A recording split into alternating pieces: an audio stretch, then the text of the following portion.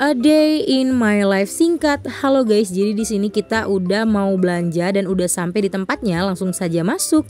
Setelah itu di sini kita bakalan belanja beberapa bahan makanan yang ingin dibelanjain ataupun yang ingin dibeli.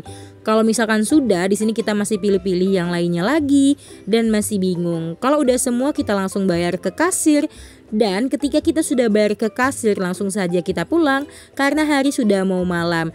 Terima kasih yang sudah menonton. Thank you. Tutorial cara bikin video A Day in My Life singkat untuk pemula.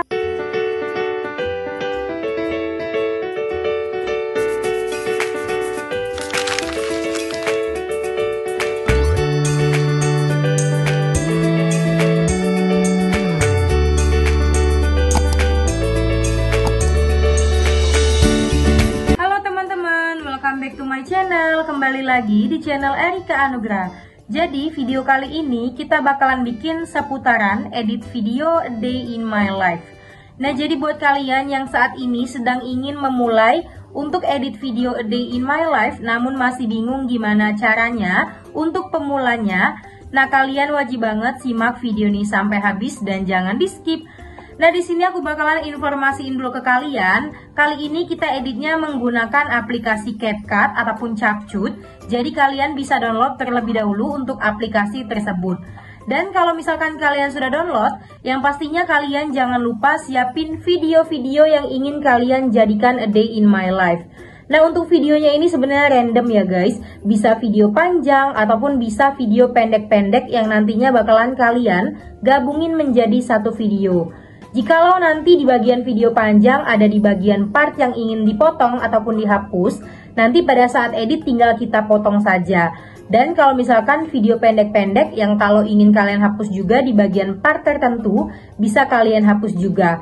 Nah, selain itu juga kalau seandainya di video A Day in My Life kalian ini mau kalian tambahkan sound musik ataupun kayak instrumen juga bisa. Jadi sebelumnya kalian bisa download terlebih dahulu ataupun siapin terlebih dahulu untuk instrumen yang kalau misalkan nantinya mau kalian masukin di video A Day in My Life kalian. Oke, jadi kurang lebih seperti itulah beberapa yang perlu kalian siapin sebelum kita memulai editing videonya.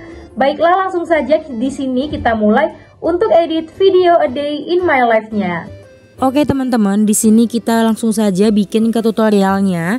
Jadi di sini tutorial yang terbaru yang aku bikin dari video yang sebelumnya ya. Di sini buat video A Day in My Life kalau kalian sudah download aplikasi CapCut, langsung saja klik proyek baru, pilih di bagian video dan pada saat di bagian video tersebut kalian bisa menambahkan video yang sudah kalian siapin sebelumnya. Baiklah, kalau sudah kalian tambahkan bisa klik buat video di bagian bawah.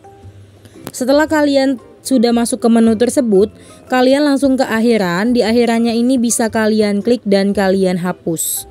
Watermarknya, kalau sudah di menu bawah pilih rasio dan pilih ukuran rasionya sesuai dengan ukuran video kalian.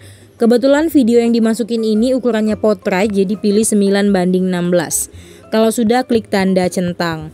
Setelah itu, di bagian tersebut, biasanya kalau orang mau bikin video A Day in My Life akan menambahkan sound musik lagu ataupun bisa juga menambahkan kayak suara tambahan yang mau dimasukin di video tersebut. Jadi kenapa pakai suara tambahan? Biasanya pada saat perekaman video kalian kayak suka males ngomong gitu guys sama kayak aku pada saat pembuatan video ini kayak nggak ada suaranya jadi makanya ketika edit mau ditambahkan suara tambahan Nah yang pastinya kalau pada saat kita ingin menambahkan suara tambahan ataupun sound musik, suara asli yang ada di video ini ingin dinonaktifkan. Untuk cara menonaktifkan seluruh suaranya, klik saja bisukan. Maka otomatis suara video udah nonaktif ataupun sudah tidak ada suaranya ya guys. Setelah itu kalau misalkan ada di bagian part tertentu ya yang ingin kalian aktifkan suaranya bisa diklik saja. Lalu kalian geser di menu bawah, pilih volume, tinggal dinaikkan saja volumenya. Ini tujuannya agar di salah satu video suaranya sudah diaktifkan. Namun bebas bisa disesuaikan sama keinginan kalian mau mengaktifkan suaranya atau tidak. Oke, kalau sudah klik saja tanda centang ya guys. Setelah itu di sini kalau misalkan udah biasanya kita itu bakalan hapus di bagian part tertentu video kita. Tujuannya agar video kalian kelihatan lebih rapi ataupun ada di bagian part tertentu di video kalian yang gak ingin kalian masukin ketika diedit. Gimana sih cara potong videonya?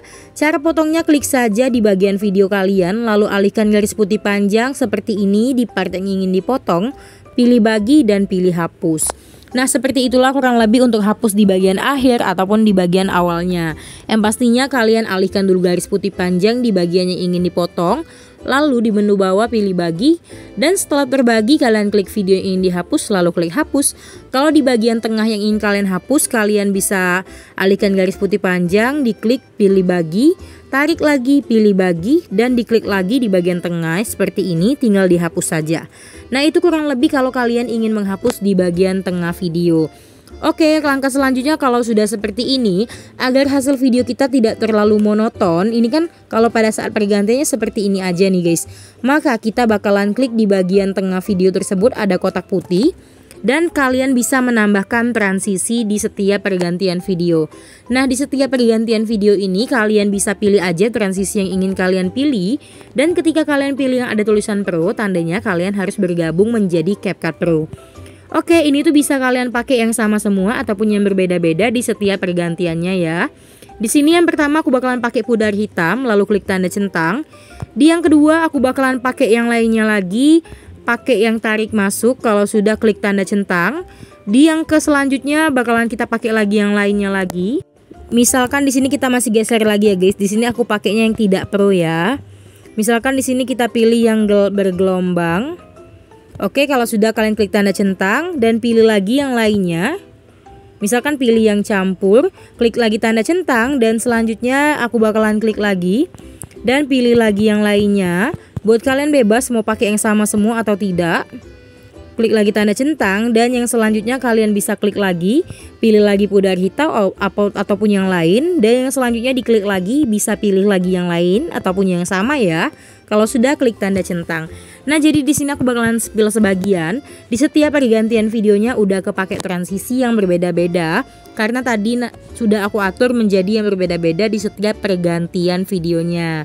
Nih udah pakai yang berbeda-beda kan guys Oke kurang lebih seperti itulah kalau misalkan kita udah menambahkan transisi tujuannya agar setiap pergantian video kita kelihatan lebih menarik juga Selanjutnya gimana sih caranya menambahkan suara tambahan di video kita? Untuk cara menambahkan suara tambahan di video kita, maka kalian bisa klik audio dan pilih rekam. Nah, di sini ada gambar mikrofon yang ini warna biru ini, kalian bisa klik ya nanti ada hitungan 3 2 1. Setelah itu kalian tinggal langsung bicara saja apa yang ingin kalian sampaikan di sini. BTW, pada saat aku mau nambahin suara tambahan di sini nggak ada suaranya ya guys, aku bilang apa? Karena di sini posisinya lagi rekam layar. Langsung saja kita mulai.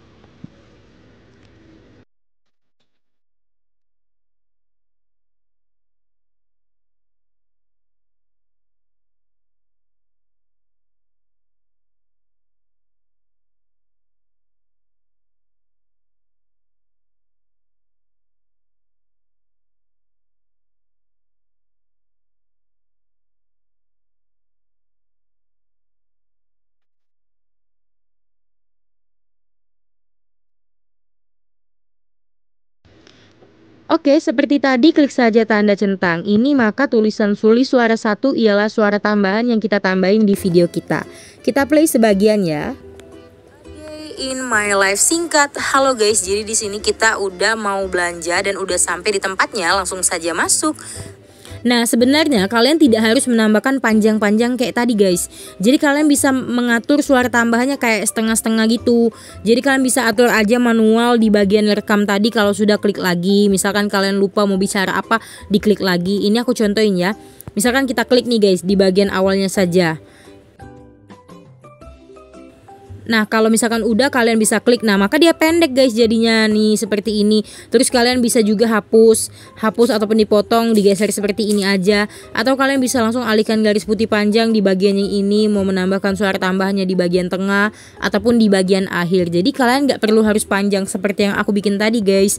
Bisa ditambahkan setengah-setengah. Tujuannya agar kita itu lebih pede ngomongnya juga guys. Karena takutnya kalau misalkan langsung panjang seperti ini kan suka lupa. Aku juga kadang kan bingung mau bicara apa guys. Jadi aku saranin kalau kalian masih bingung bisa dipakai setengah-setengah aja ataupun bisa ditambahin suara tambahannya sedikit-sedikit saja. Oke kurang lebih seperti ini kalau misalkan sudah Langkah selanjutnya biasanya di video A Day in My Life orang Bakalan menambahkan kayak teks gitu guys Teks itu ialah untuk memperjelas apa yang lagi kita bicarakan Sebenarnya bebas mau ditambahkan atau tidak Namun untuk cara menambahkannya klik saja teks Klik keterangan teks Lalu pilih yang suli suara dan klik mulai kita tunggu untuk membuat keterangan otomatisnya sampai 100% ataupun sampai selesai. BTW kalian bisa lihat ya di sini belum ada teksnya. Nah, di sini ada tulisan keterangan otomatis dibuat. Oke, setelah itu kalian bisa double klik di bagian teksnya yang udah dibuat keterangan otomatis tadi. Kalian bisa pilih di bagian template kalau kalian ingin menggunakan template yang udah tersedia di sini. Lalu kalian bisa pilih di bagian font kalau seandainya kalian ingin mengganti untuk jenis dari fontnya. Oke, misalkan di sini kita pilih ya guys. Misalkan kita pilih yang ini, helium. Kalau sudah kalian bisa klik tanda centang dan kita lihat hasilnya. A day in my life singkat. Halo guys, jadi di sini. Nah, seperti itu kurang lebih dan teksnya ini juga bisa kalian pindahin di bagian atas ataupun di tengah. Halo guys, jadi di sini kita udah mau Oke, kurang lebih seperti ini kalau kita ingin menambahkan teks otomatis. Langkah selanjutnya kita bakalan menambahkan filter. Klik saja menu filter di bagian bawah. Setelah kalian klik menu filter di bagian bawah, kalian bisa menggunakan filter yang udah tersedia di sini ya guys. Oke, kita tunggu dulu di sini untuk loadingnya. Di sini bisa misalkan kita pilih yang alam dan digeser pilih yang clear ini ataupun bebas kalian mau pakai yang mana. Kalau sudah di sini aku atur menjadi 49. Setelah itu klik di bagian sesuaikan, pertama kali klik di kecerahan bakalan dinaikin menjadi 9, kontras dinaikin menjadi 6, saturasi menjadi 6, cahaya dijadiin 11 dan pertajam dijadiin 26. Kalau sudah disoroti di sini diturunin menjadi min 3 dan di bayangan atur menjadi 7. Lanjut kalau sudah klik tanda centang dan ditarik saja untuk filternya agar semua videonya udah kepake filter yang sama. Dan kita tidak perlu mengatur satu persatu lagi. Oke, klik kembali dan klik kembali. Selanjutnya, kalian juga bisa menambahkan sound musik di sini. Caranya klik saja audio dan pilih suara. Nah, kalian bisa menambahkan musik yang udah tersedia di sini ataupun yang ada di galeri kalian, maupun kalau misalkan dari video yang hanya kalian ambil suaranya saja juga bisa ya, guys, sesuai dengan keinginan kalian. Jadi kurang lebih seperti inilah tutorial singkatnya untuk edit day in my life pemula menggunakan aplikasi CapCut. Semoga videonya bermanfaat, langsung saja disimpan, klik 1080 full in resolusi, tingkat bingkai dan laju bit lalu klik tanda panah. Thank you guys. Oke teman-teman, seperti itulah kurang lebih tutorial bikin video a day in my life untuk pemula. Semoga videonya bermanfaat dan sorry kalau misalkan ada salah-salah kata ataupun yang kurang jelas. Semoga kalian suka dengan videonya dan kalau ada yang mau ditanya boleh di komentar saja di video tersebut ya. Terima kasih buat yang sudah nonton video ini sampai habis. Jangan lupa klik tombol subscribe di channelnya Erika Anugrah, like, comment, serta share juga videonya guys. Thanks for watching, see you, bye-bye.